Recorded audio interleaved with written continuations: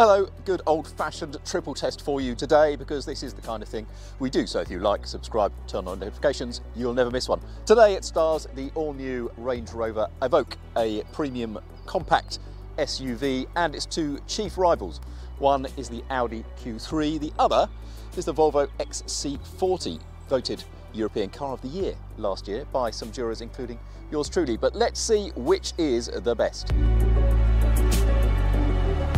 And so, what's new about the Evoque? Because it looks similar to the old version, and bar a few millimetres here and there, it is pretty much the same size. Well, underneath it is a new PTA model platform architecture, not PITA, you should know, uh, which is pretty new and allows a longer wheelbase, more practicality on board, as well as a mixed metal construction and a whole family of 48 volt mild hybrid powertrains, including this one.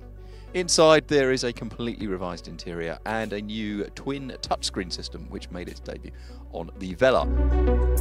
Which means you get two touchscreens. Everything basically is controlled via touchscreen. There are very few real dials. There is one down here which does the heater and stuff, but this multifunction display, the clever thing about it, is that at once it can do the climate control, then it can do the seats, then it can do the vehicle drive modes, and then it has a broader settings menu. You have to take your eye quite a long way off the road to look at it, so the idea is that it's only for controls that you don't touch very often. Other controls, such as the radio and the navigation and the telephone, are on a top touchscreen that is not such a stretch away for your eyes, at least that's the thinking. And then there are what is actually some quite funky steering wheel mounted controls, which can display different things. Now, I would still prefer a proper knobby dial thing, which is always where I left it, so that I can do that without having to take my eyes off the road and it scans around a screen and I only have to take my eyes off the road very rarely. But this touchscreen is a common theme to all three of these cars. Audi, which used to have the MMI system, which had uh, a rotary dial plus some buttons around it, has now gone completely touchscreen. It's relatively easy to navigate, but is not quite as straightforward as a rotary controller. And the Volvo has a big upright iPad style touchscreen that you can swipe through and swipe backwards and forwards. Again, it's quite big, it's quite easy to navigate around, but I wouldn't mind just having a button. Right, I've come to sit in the back of the Volvo because I happen to think it's probably the nicest rear cabin of the three. Not necessarily because it's the most spacious, although all three have got, I think, a reasonable amount of room. This is my driving position. I've got about hand's width of leg and headroom, though this has got a sunroof which eats into it a little bit, but it's quite spacious enough. And I'm five foot 10, so an adult behind an adult is fine. But this is the only one that gets quite cool chromed vents in the back. It feels like there's most space across it, but significantly, it's also the one I think with the lowest window line.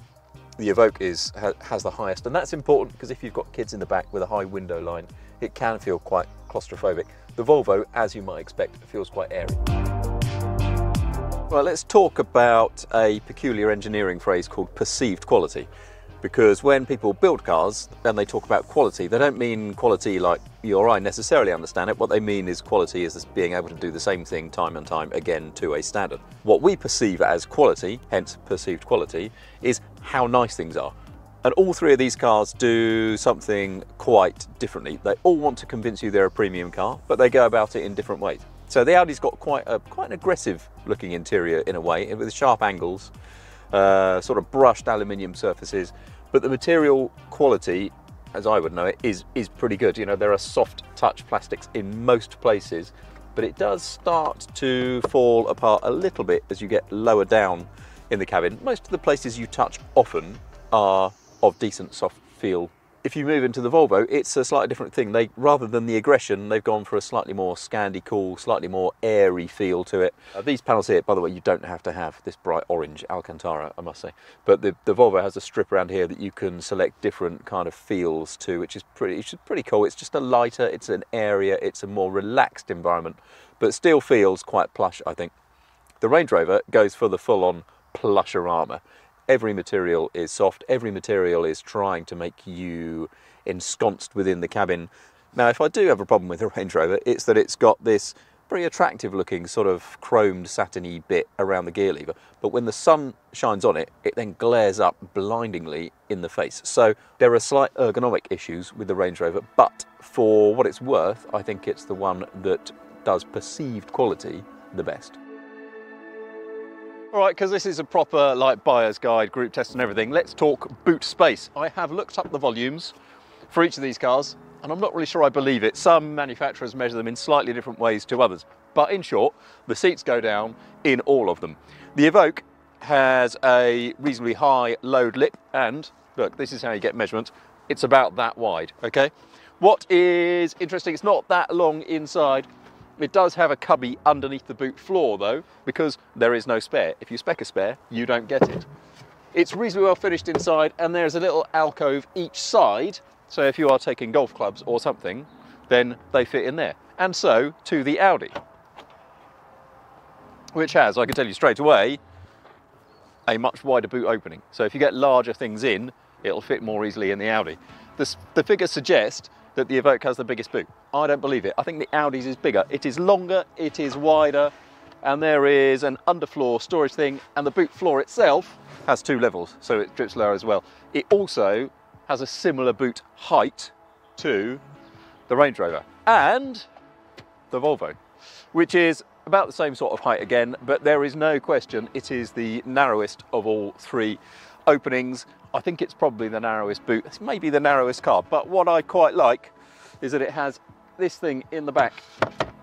You can load it like that, and it has three bag hooks on it. So it's quite a versatile, quite a funky, useful space, if not quite as voluminous as the other two. And so to the driving. What have we got? Well, all of these cars are two litre turbo diesels. They're all monocoques, steel monocoques largely. The Evoque platform is new to the extent that it is allowed to have very mild hybrid system, like really mild hybrid system. So the start stop stops the engine as you're coasting up to a junction, stops going very quickly. It's basically a starter alternator that just fills a little bit of turbo lag at low revs. It never drives on electric power uh, alone, but what it does do is just helps the CO2 and fuel economy match some of the other two cars here. It's 178 brake horsepower, 180 PS, so it's a little bit down on the other two cars, which have 10 horsepower more. The diesel engine in this one drives through a 9-speed automatic gearbox, two or four-wheeled. Now, I've never hitherto been really impressed with the Jaguar 2-litre diesel Ingenium, I think they call it, engine, with its quietness. But in here, it's really quiet in here, really impressively quiet. Slightly less impressive is the gearbox and the way it hunts around for ratios at lower revs. When you're pulling away particularly, it's a little bit lethargic, a little bit sluggish.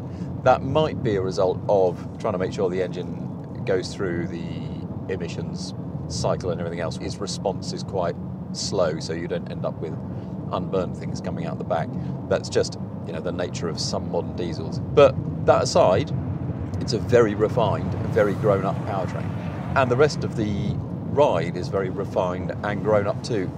That's one thing that Jaguar Land Rover does typically very well is the ride and handling of its cars. The ride on this car is good. The steering is smooth and precise, and the responses are measured. It's not overtly hyperactive, it's not overtly agile.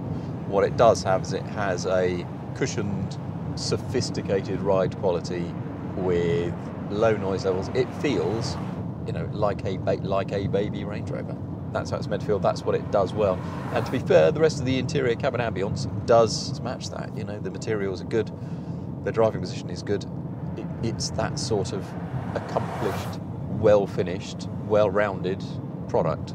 And it's on the money of the other two. It's about 40 40,000 quid in this specification. This is S specification. The specifications get quite complex and blah, blah, blah. But if you go through and you do the mathematics, then this is, you know, a competitive car.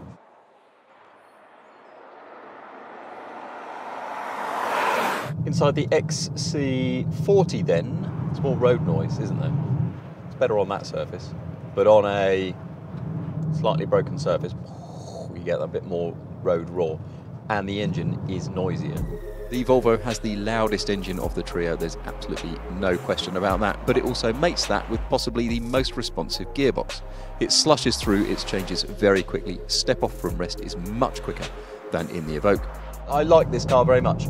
It's funky and airy and spacious inside, and Volvo hasn't made it try and feel like a hatchback or a saloon car. It's given space to breathe, space to roll, space to behave like a relaxed SUV, but the Range Rover does that better. So there is some comfort here. It's quite pleasant in a straight line. It steers really nicely actually. It steers and self-centers quite nicely and it responds to its steering quite well. But the Range Rover feels more sophisticated all round. It is certainly quieter. And apart from the initial throttle response where this is superior, uh, I think the Range Rover does probably everything else a bit better, although this steers quite nicely too. And I didn't necessarily expect that because I've had quite a lot of time for this car.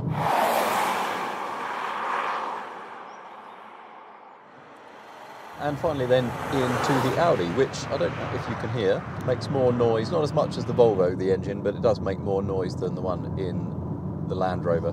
The interior does not feel as plush as either of the other two. It doesn't have the kind of laid back cool of the Volvo and it doesn't have the outright refinement and luxurious feel, I don't think, of the Range Rover either. There's a bit of road noise too. I think Audi has tried to make the Q3 feel the most dynamically agile car in this class. To an extent, it does. It has fairly quick steering and a reasonably responsive engine. Arguably the most agile from that respect, but the ride is the firmest. And you're looking at a tall car. If you want an agile car, here's a tip don't buy an SUV. The steering doesn't take on any extra weight or anything as you steer. It's just, and while I say it's a bit more agile than the others, I think genuinely it is the least pleasant to drive. So overwhelming is a word, and underwhelming is a word. The word whelming does not exist. There is no middle ground. You cannot just be whelmed. But if you were able to be whelmed, this would be a whelming car. Actually, it might even be underwhelming. It just feels the, the least luxurious, the least welcoming. It's not that nice a car, is the truth of it. It's just not good enough. This just is not good enough. The Volvo is better. The Range Rover is the best. So there you have it, SUV company makes best SUV. Shouldn't necessarily be a surprise, should it? But I was slightly surprised by how much better the Evoque is than the competition. So if you like this triple test, remember we're here all the time. Don't forget to like, subscribe. If you turn on notifications, we'll never miss one. Thank you very much for watching. We really, really, very much do appreciate it and we'll see you soon.